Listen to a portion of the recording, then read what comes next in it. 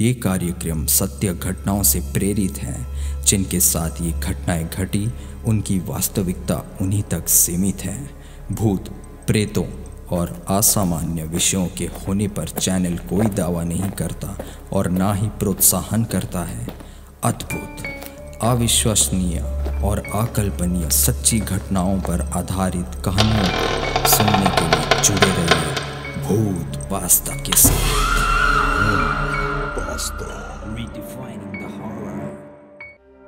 जल्दी चलो अमित बेटा। नहीं तो अनर्थ हो जाएगा। ये दुष्ट आत्माएँ मार डालेंगी उसे। जल्दी जल्दी चलो। लेकिन काका समझ नहीं आ रहा।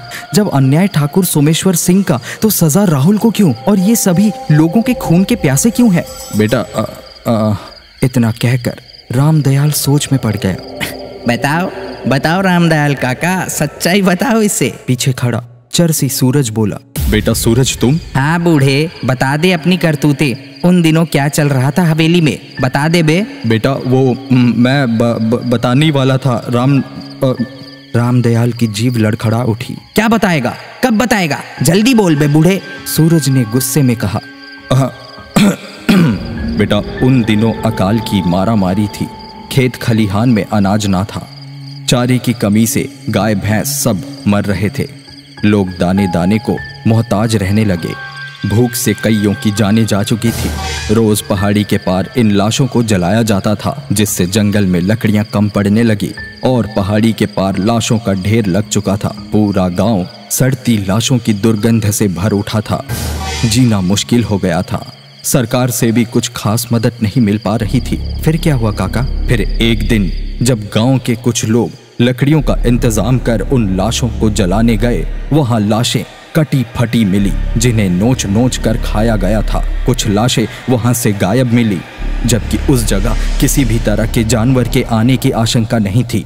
ठाकुर के आदमी पूरा जंगल छान कर खोई लाशों की तलाश करने लगे। रात में लाशों के आसपास पहरा देने लगे। फिर एक रोज उन्होंने देखा, कुछ लोग लाशें चुरा कर घने जंगल की ओर जा रहे हैं। पीछा करने पर मालूम हुआ ये घुमक्कड़ लोग थे, जो अब भी आदिम जीवन जी रहे थे। अक्सर लोगों की कब्र खोद कर या लावारिस लाशों को खाकर ज़िंदा रहते थे। अगले रोज ठाकुर बंदूकों से लैश कई लोगों को लेकर उस घने जंगल की ओर बढ़ चला। वहाँ पहुंचकर उन नरभक्षी लोगों पर उन्होंने धावा बोल दिया। कईयों को गोली मार दी गई और बाकी डरे सहमे नरभक्षी लोगों को बंधक बना लिया। कहाँ से आए हो तुम लोग?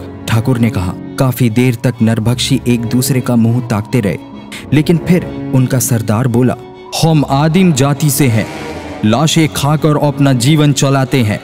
हमारे तौर तोरी के आम लोगों से अलग है, इसलिए हम घने जंगलों में रहते हैं। कोसों दूर से सड़ती लाश की दुर्गंध हमें यहाँ खींच लाई।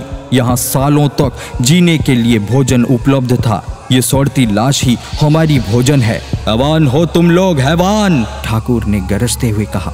हैवान, हम सदियों से ऐसे ही जीते आए हैं। हमने कभी अपनी भूख मिटाने के लिए हत्या नहीं की। जो मर गया, उसी के मांस से हम गुजारा करते हैं। लेकिन खून तो तुम चूस रहे हो, इन भोले भाले लोगों का। क्या कहा? ज़ुबान खींच लूँगा तुम्हारी। गलत क्या कहा, ठाकुर? एक दिन मैं गाँव का मौका मुआना कर रहा था। तब तुम्हारे आदमी लोगों को डोरा धमका कर उनकी ज़मीन कब्जा कर रहे थे। भूख से सारा गाँव त्रस्त है और तुम उनकी जमीनें छीन रहे हो। हैवान हम है या तुम? चुप कर, वरना तुम सबको यही गोलियों से भून डालूँगा। और देखते ही देखते ठाकुर ने दो नरभक्षियों को गोली मार दी। नहीं नहीं ठाकुर मत मारो इन्हें। हम ये गाँव आज ही छोड़ देंगे। हमें जाने दो जाने दो। जाने दो? ना ना ना ना ना। तुम लोग यहीं रहोगे इस वीरान जंगल में। क्या कह रहे थे? किसी को मार कर नहीं खाया? ये लोग तो वैसे भी भूख से मर ही जाएँगे। तो क्यों ना तुम इन्हें मार कर अपनी भूख मिटाओ? नहीं नहीं ठाकुर साहब ऐसा मत कीजिए। हम लोग ये पाप नहीं कर सकते।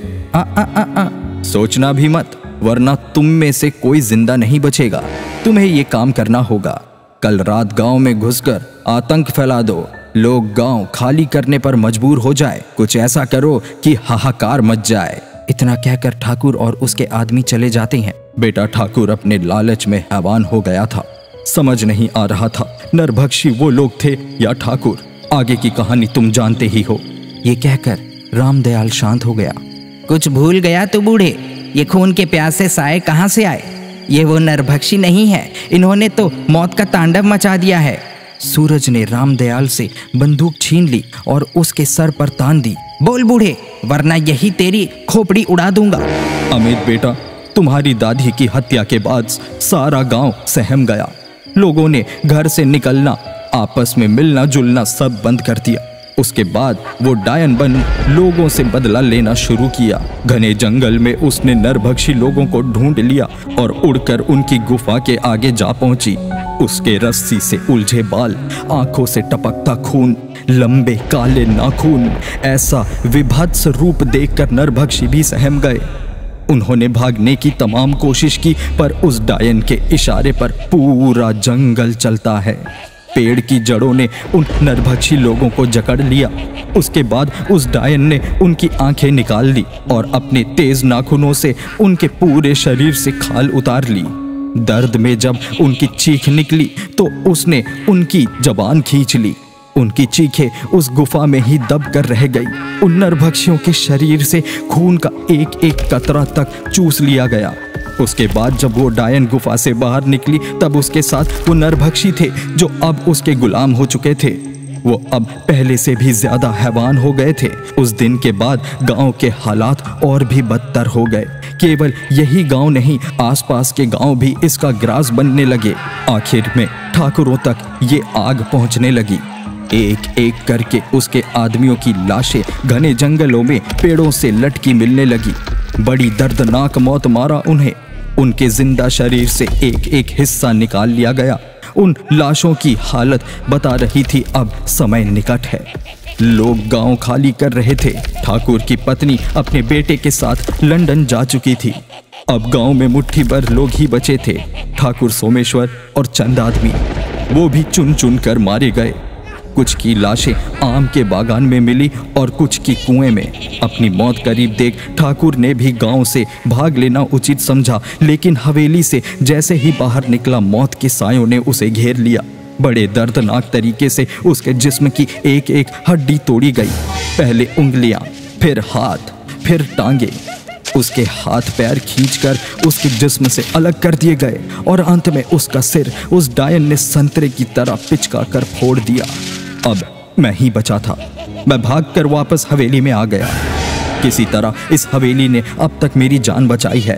तब से रोज रात यही सिलसिला शुरू हो गया जो तुमने उस रात देखा।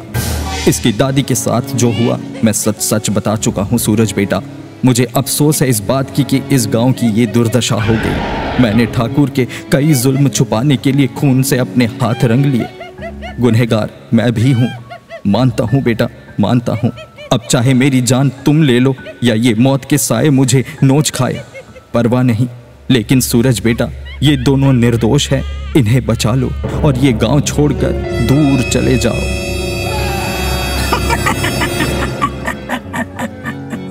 दोस्तों कैसा लगा आज की कहानी? यदि आपके पास ऐसी कोई भी आर्टिकल या जानकारी है जो आप हमारे साथ शेयर करना चाहते हैं कृपया उसे अपनी फ़ोटो के साथ ईमेल करें।